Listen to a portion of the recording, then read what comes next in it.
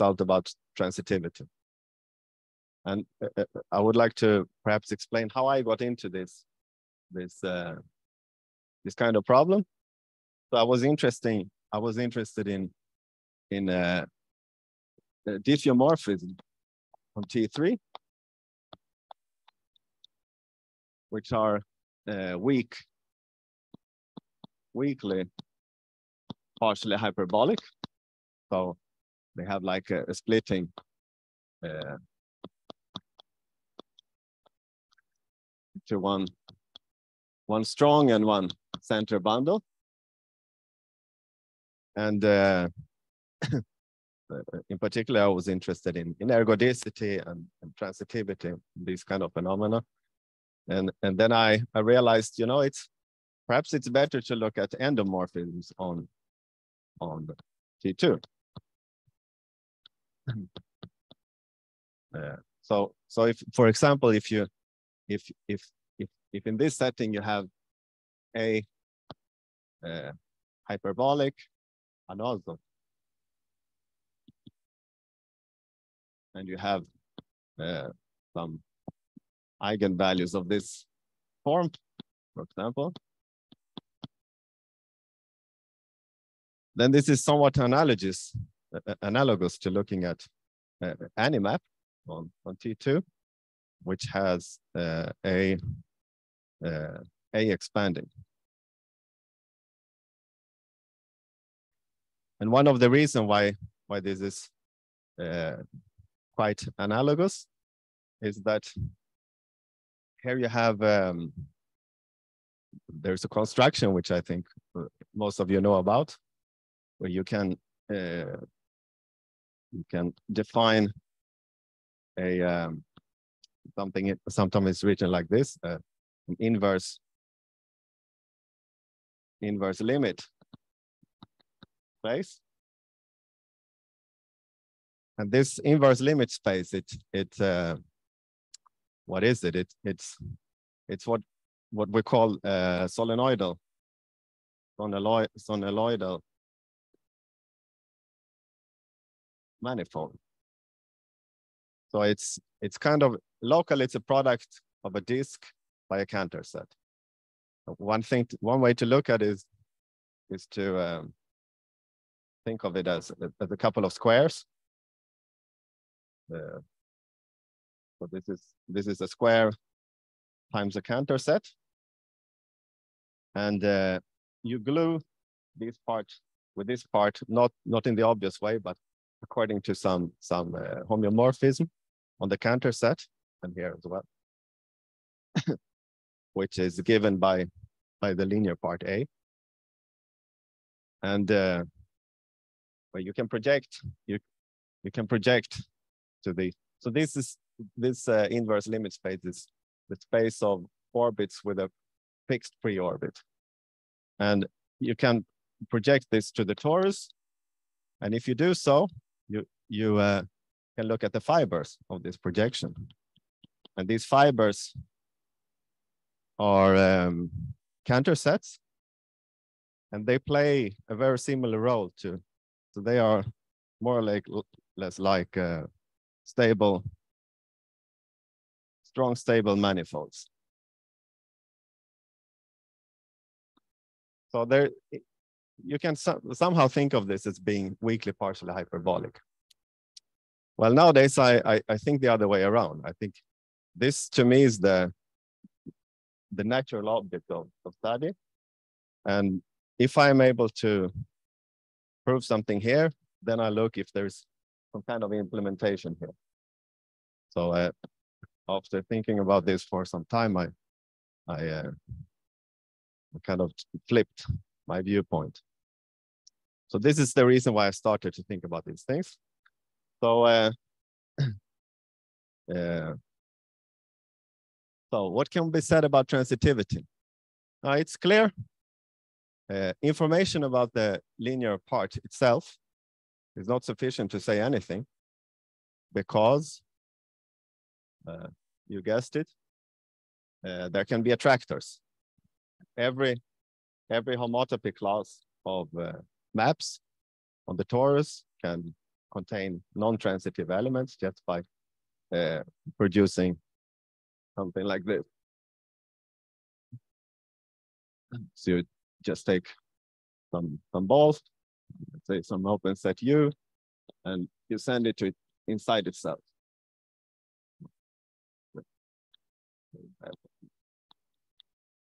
Right? Then you're not transitive. So uh, something more is needed. yeah. So what is needed? So that's that's the kind of open question.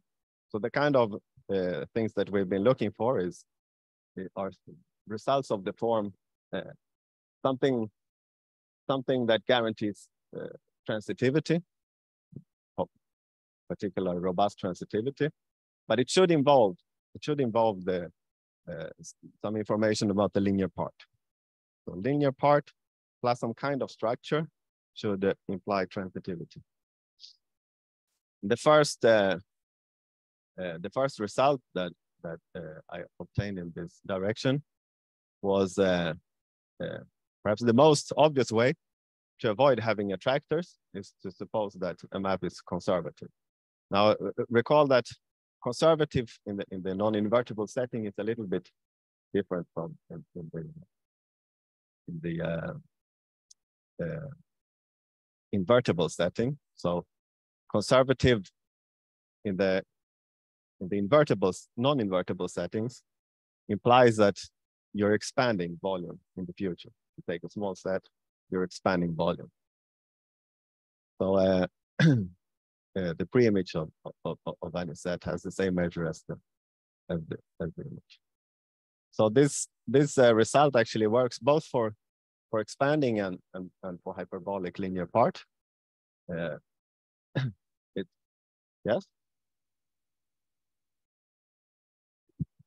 Ah, conservative means that it's, it's volume preserving. So uh, the volume or area, if you want, of, of a pre-image of any set, A is already used, of any set is equal to the volume of the set. The, the definition in ergodic theory of invariant measure. The volume is an invariant measure for the map. In the future expands because it means that if you take some ball and look at the pre-images, so if you have two pre-images, the sum of these have the same area as that one. So if you take a small ball and, and, and iterate it, it expands.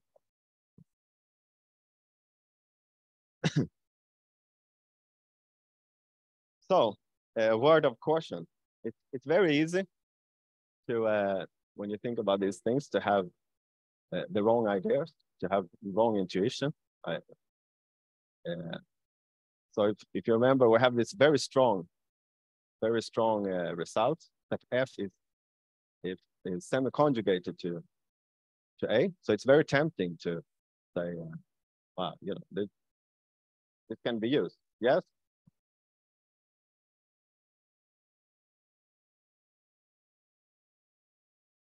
No, no, the, the, uh, because we're dealing with non-invertible maps without critical points, uh, the determinant of A the modulus of determinant A is always greater than or equal to two.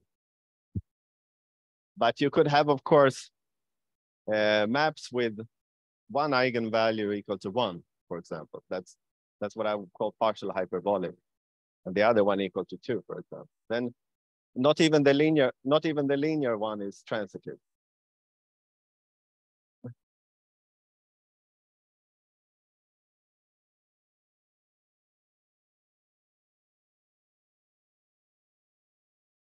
No, no, transitive, I mean that you have a dense orbit. So for example, if you take a linear map like this,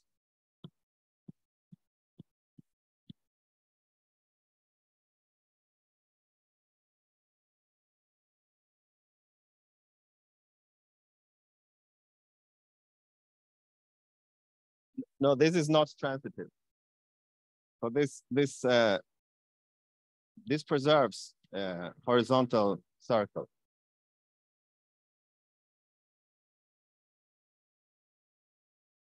So, so if you look at linear maps, then yeah, yeah, the linear maps you can kind of separate in in, in the cases where you have an, a, unitary eigenvalue and where you have an expanding and or where you have a, a hyperbolic endomorphism. So uh, when you have a,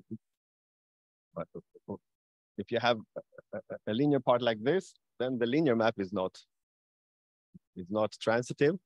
So it doesn't make sense to say that every one homotopic to it would be transitive. Yeah, yeah, exactly. Yeah, it's recurrent, but not true. No, no, no, no, no.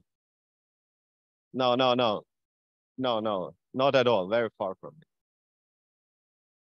Now this actually, this works, this is C0. This, this works C0. This is purely topological. Uh,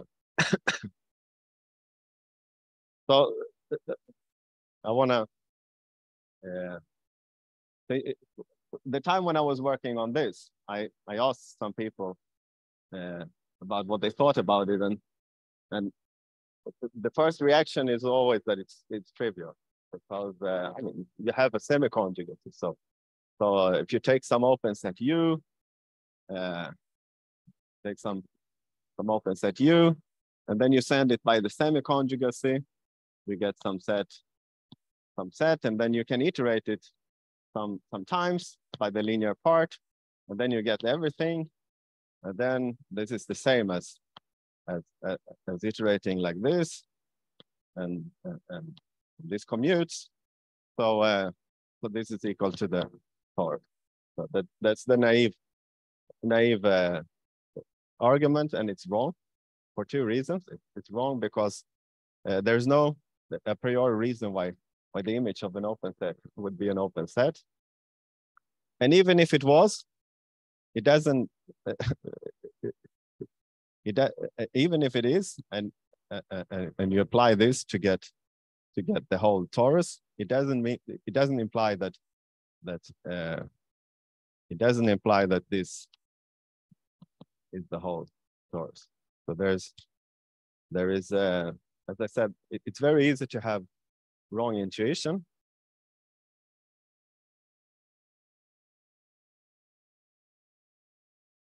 it's never one because I'm supposed, I, so I didn't write the full hypothesis, but I'm supposing uh, the, the setting where F is non-invertible.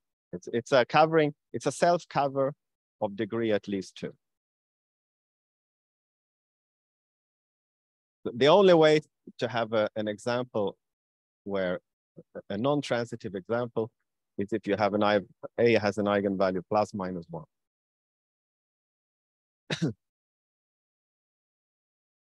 Yeah.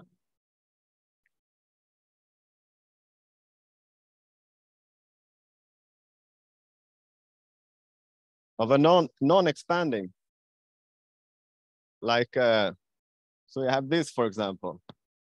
This is uh, an Anosov endomorphism. It has uh, two eigenvalues whose product is equal to two. Uh, one is smaller than one, and the other is bigger than one. It's not expanding though.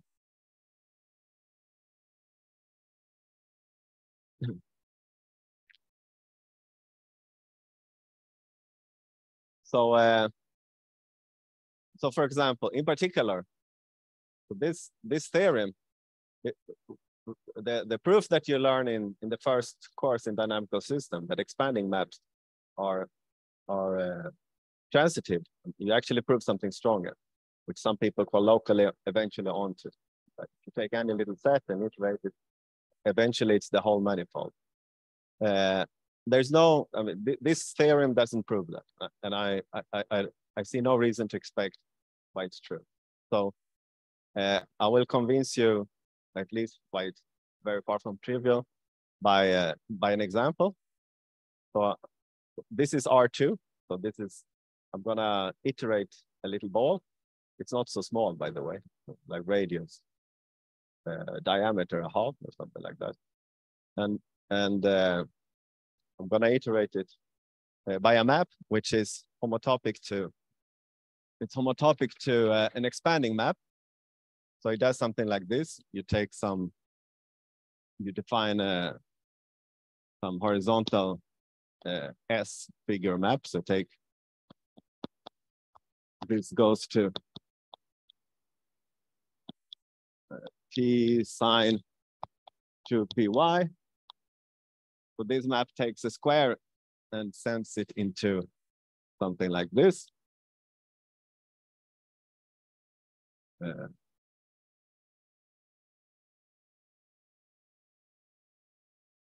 huh? Comma y, thank you. And then you take a, a map which, let's do capital H. And then you take a map which does the same, but uh, in the other direction. Uh,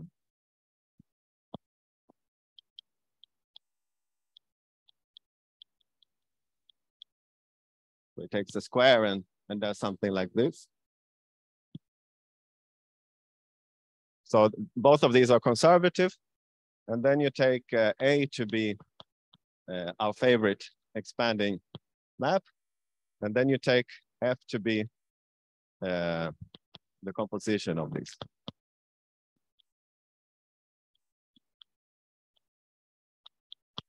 So it's homotopic to, to this guy. uh, it, it's, it, it has a determinant, it, it has Jacobian 4 at every point. Now, after only two iterates, you get something like this. And it goes on, no matter how much you iterate, uh, the iterates will never contain a big ball. The, the naive argument of, of trying to iterate a ball and, and make it contain everything doesn't work. So in fact, uh, maps homotopic to an expanding map can be very crazy. So what I mean by crazy, uh, perhaps unintuitive is a better word. So one thing which we proved recently, uh, me and Pablo Carrasco and Radu Saghin, is that they may have negative Lyapunov exponent. So in particular, this example, I'm, I'm quite convinced that it has. Uh, if you if you change this two to five and make t very big, something like 1000, we can prove that that it has in fact negative Lyapunov exponent. But I think uh, even something like this with uh, with t equal to one, perhaps one and a half, something like that, it, it should also have negative Lyapunov exponent. so uh, and, and the pre-image of uh, of every point by the semiconjugacy is a complicated set. So what's a complicated set? Well, it's something that looks like a Hénon attractor. so uh, uh, in particular, it contains uh, it contains arcs of arbitrarily length and, and such things like that. It's a terribly uh, complicated uh, situation. and if you take a, a curve, so if you take a long curve at least, and uh, iterate it, you, you, you get actually the whole. Oh, you know, you know. Sorry, you don't iterate it. You, you look at the image by the semiconjugacy. The semi-conjugacy takes a curve and maps it to the whole torus. So the semi-conjugacy is very ugly.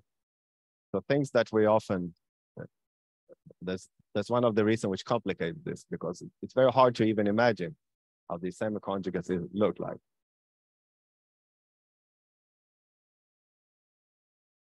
So uh, once we're fed up with, with conservative, the next step to go is expanding, like uh, uh like we uh, commented before. Cons conservative implies expand. Expanding, volume expanding is is strictly weaker condition than being conservative. So uh, what can you say about volume expanding uh, well, you have a problem because there may still be attractors. So how can you have attractors uh, to expand volume? Well, no problem.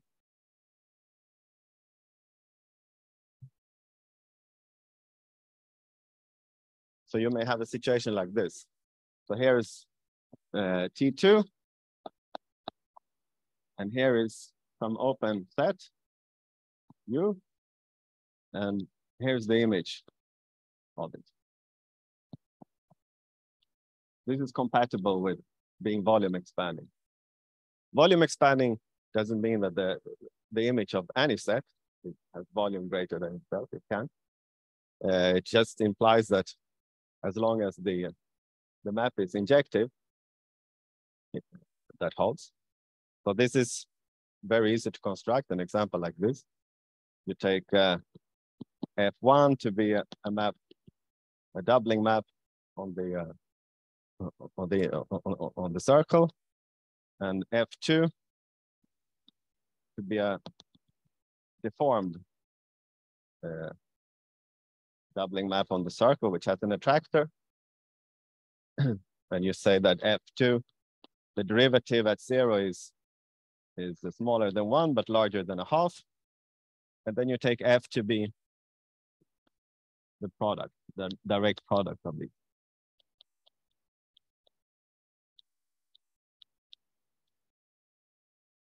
Then you get uh, an invariant stripe and your, your volume expanding uh, but you still have attractors.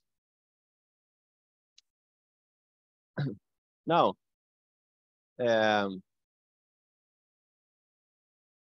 there's some some difference between this attractor and the first I, I drew here. Uh, uh, so you have something cool that happens for for uh, volume expanding maps is that whenever you take an open set and iterate it, it gains homology. It, it gives you uh, it gives you a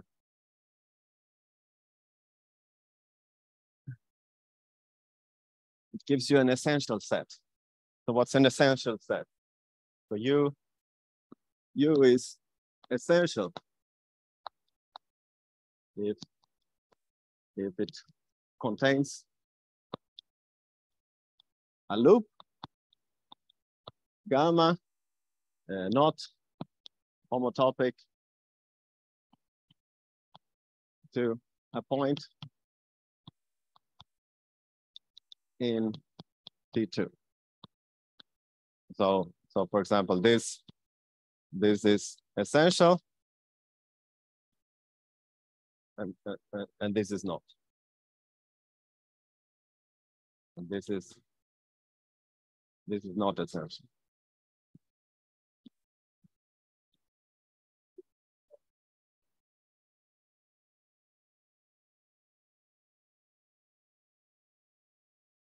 Uh, no. Uh, uh, the expand here, the expand the expanding part has uh, both eigenvalues are larger than one, and your volume expanding, but it doesn't help. So uh, yeah.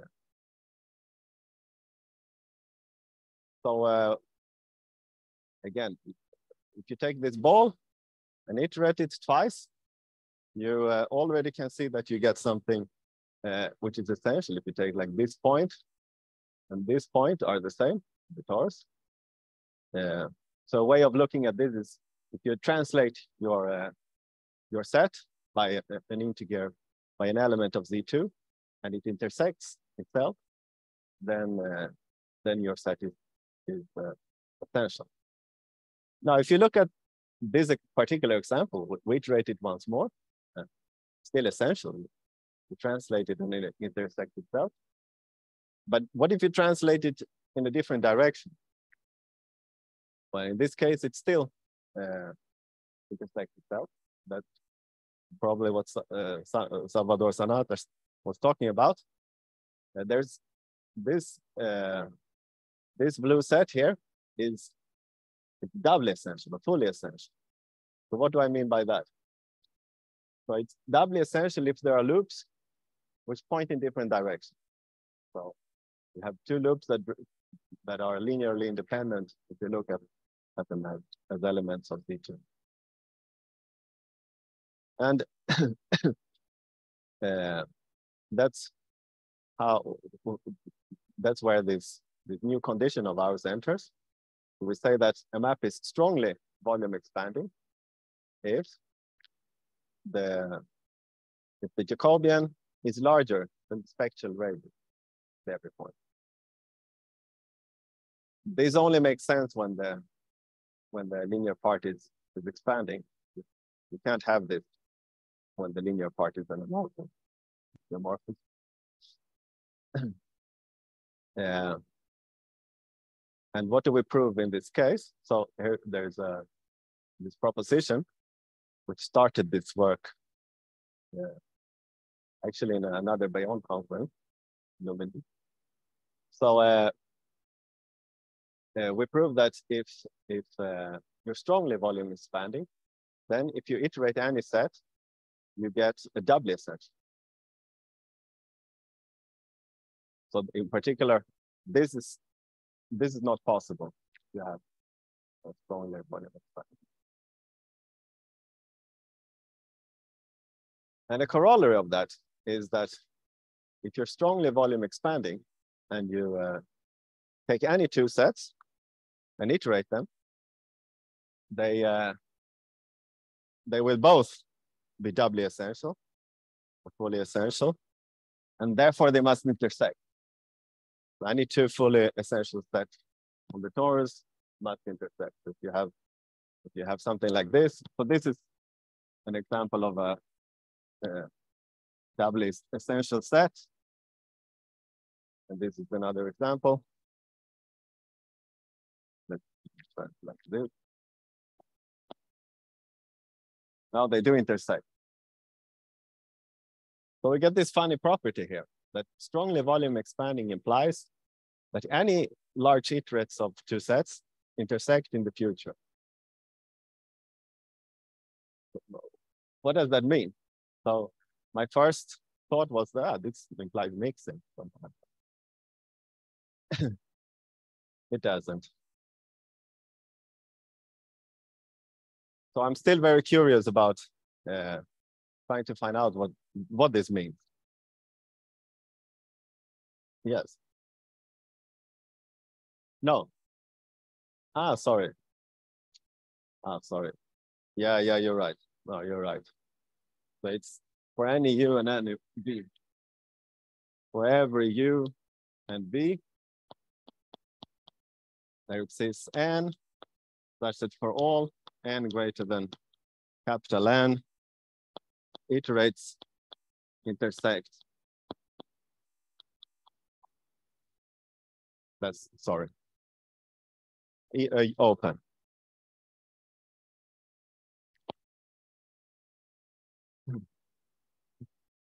I would never use the letters U and B for sets that were not open.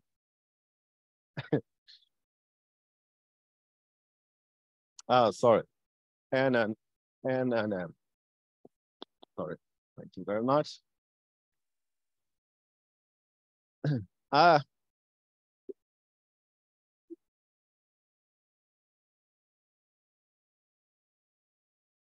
Okay.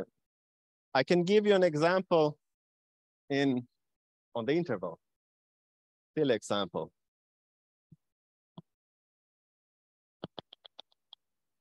So let's let's uh, take some invariant set here and make a tent map and then some expansion. So this map is is uh, uh, mixing inside here, and this is an attractor. So everything everything falls in there, and then it's mixing. Uh, that's, I believe this is more or less something like that should always be true. So one thing that this implies is that you cannot have two attractors. There cannot be two trapping ring, two, two disjoint trapping rings. Everything will have to intersect. But I do believe, and I have a, I have a sketch of a counterexample, even in, in the setting we're working in, uh, but I haven't been able to verify that it's strongly volume expanding, but I think it is. Uh, if, if I'm right, uh, there, there are examples where, where it's not transitive. I guess you have something like uh, uh, like the um, the non-wandering set is uh, transitive, uh, problem mixing, something like that. That's what I believe. You do get some things. The, the, the pre the, the pre-orbit of the non-wandering set is dense. Uh, you get the generic points, the residual sense, have uh, dense, stable sets, like the, the stable sets, not they're not necessarily stable manifolds, but the stable set of, of generic points are, are dense, but not every point. If you had every point, you would be able to apply the classical. It would be like having a minimal unstable foliation. You would get transitivity, but you don't. So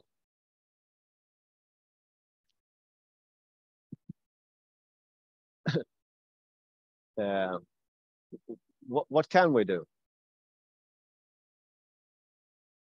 We uh, we proved that, okay, so uh, after a while we, we gave up on this general setting and we said, okay, let's let's try to prove something. And then uh, we uh, we said that okay, if you have a map which is partially hyperbolic, then and strongly volume expanding. And we consider the case of, uh, of uh, integer eigenvalues. Actually, this is in some sense the hardest case. So if you see this, this stripe is not so hard. To, I mean, it's not so easy to, to find a counterexample in the case, for example, when the eigenvalues are rational. So let me put that as a question. I think this is a very good question question. Does if if you have uh, irrational irrational so I'm still in the oh, actually it doesn't need to be linear part uh, expanding and uh, you have irrational eigenvalues of, of the linear part and F is volume expanding.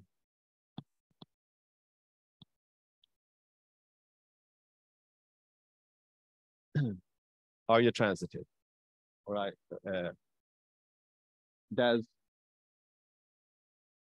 does volume, simple volume, not strong volume expand?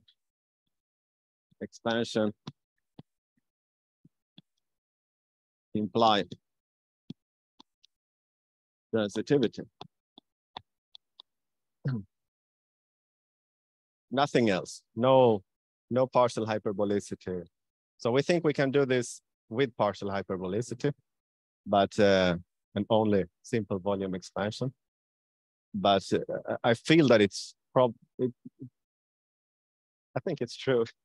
Uh, in any case, I would guess the answer is yes, but um, uh, so in a sense, integer eigenvalues is is kind of tricky part because you have you have situations like this. At least we know we have situations like that. So what so what is a what is a partially hyperbolic endomorphism? so, uh, uh, so this is uh, beyond uni uh, uniform hyperbolicity conference. I, I imagine that everyone knows about partial hyperbolicity, but not necessarily for endomorphism. So uh, uh, an endo is partially hyperbolic if it has an F invariant unstable cone field.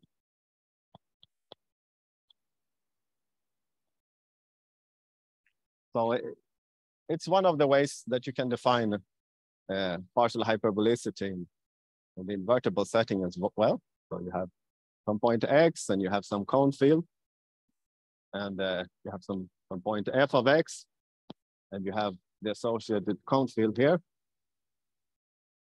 And if you map this cone with the derivative, you should get uh, some, some cone inside here. And you should expand. You should expand uh, the vectors. Now, one, one of the differences is that uh, here, if you have another, if you have another point that maps to the same, then uh, the image of the unstable cone field here should be something different. What that means is that you don't really have an invariant unstable direction. You do have an invariant central direction, which is the vectors that never fall into this cone, but no invariant unstable direction. Right. uh, there is a similar theorem by, it's similar in statement, but very, very different in, in its method of proof uh, by uh, Jana and Raoul and Jiagang Yang about uh, diffeomorphisms on T3. So they have uh, something, they, they, they require C2 because they use, uh, they use uh, Lyapunov exponent, they use Gibbs U states and, uh, and that kind of machinery. And they, they, they allow they allow you to have uh, equality. So, so they have the, the, the unstable, central unstable Jacobian.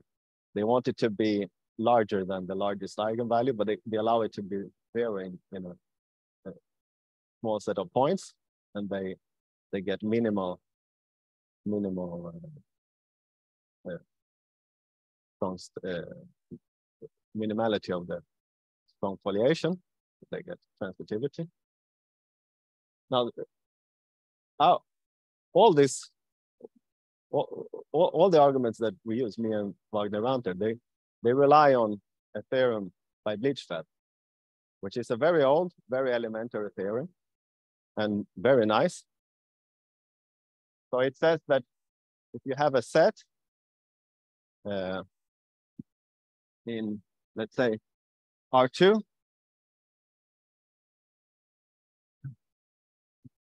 so doesn't have to be open, but let's think about it as an open set.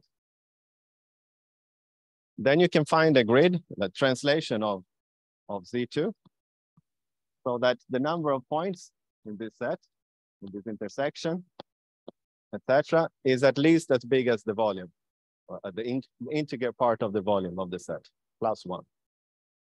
so this kind of a pigeonhole principle. The, the proof is elementary, at least now when we have uh, measure theory, it's, it, it's like a one-liner or two-liner. Uh, but it's very beautiful. And uh, we can use it to prove, for example, this, this uh, this proposition. So how do you prove this proposition? By picture.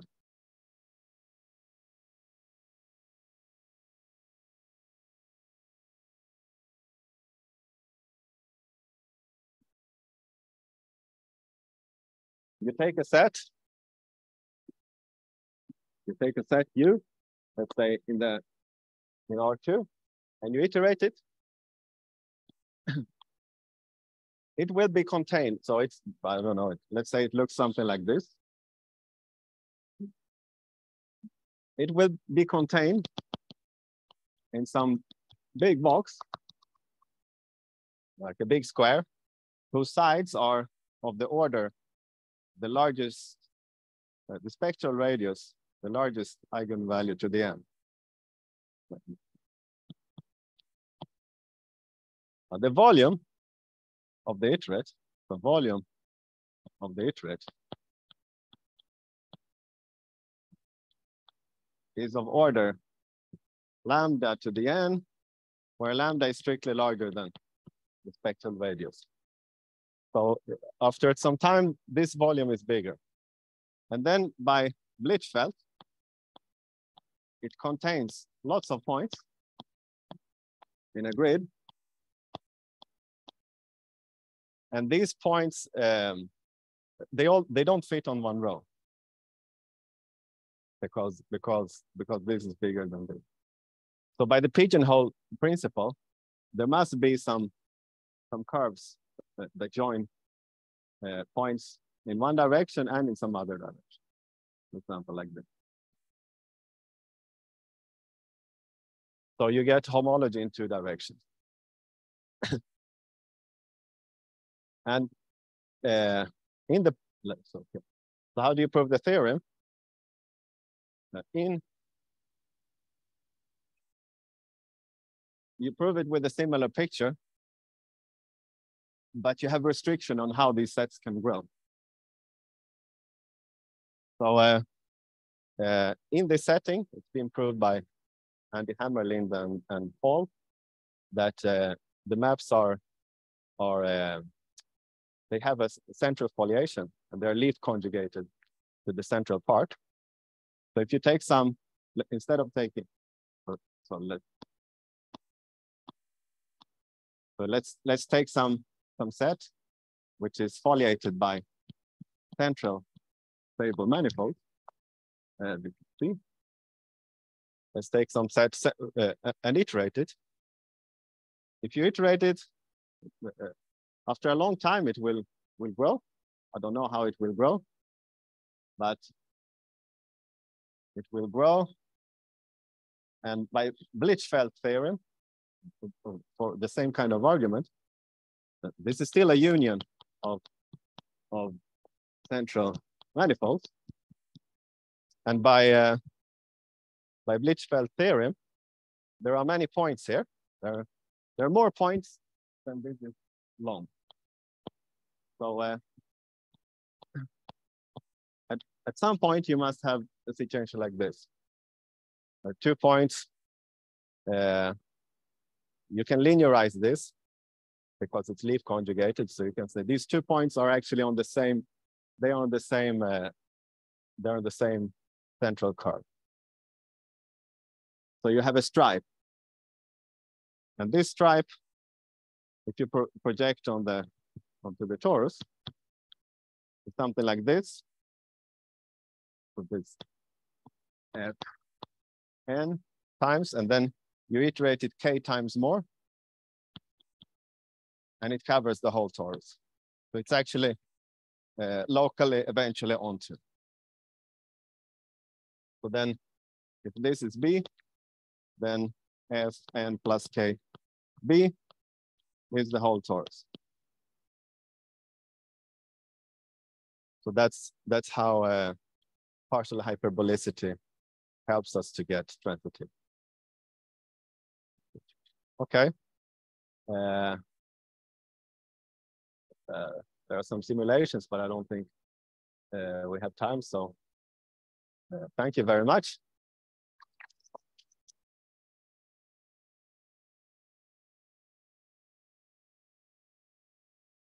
So questions?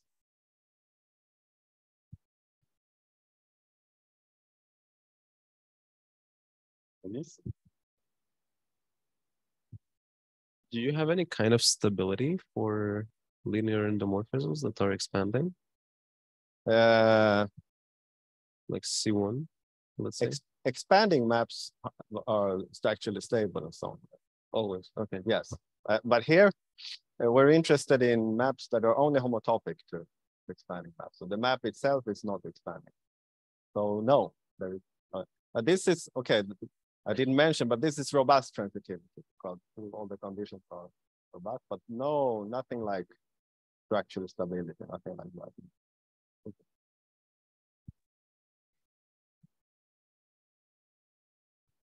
Excuse me, may I ask a question? Uh, from online audiences. Sorry, who's talking? Uh, uh, it's me, uh, uh, I mean, Ah, Talebi. online. Okay, yes, online. Wow. Yes. Uh, beyond transitivity, uh, is there any result about ergodicity of this kind of maps? Um, no. So the the the best I can give you is the, the example that I, I was talking about here. So let's let's go back. This is for simulation. Uh, this one, this is part of a class of, of maps that we, we can show the other members of this class. If you have you increase the parameters and so on, uh, we get uh, maps that are non-uniformly hyperbolic and and uh, ergodic, stably ergodic, C1 stably ergodic. But that's a particular setting. Uh, for example, in general, like in this theorem, uh, this theorem here, uh, I have abs no, I have no idea. That's one of the mysteries also. I mean, there is no. I, I've been talking to people who have had lots of different ideas. You know, you should construct a Markov partition or whatever, but nothing seems to work. So uh, no, I I know nothing about it.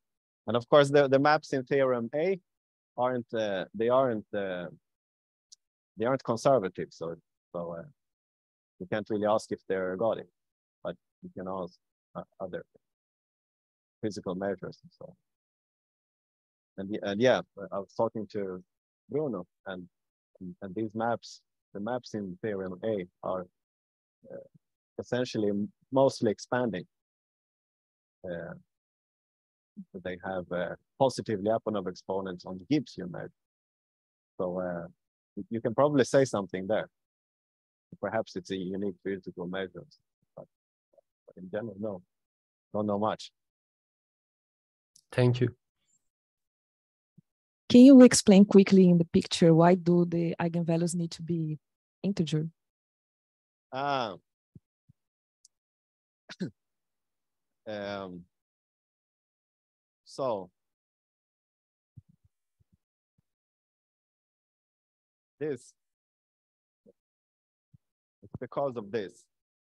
This the, the fact that you get this stripe. Uh, if they are not, you don't get this on the same. You don't get this on the same. Uh, on the same map. You, you get something like this.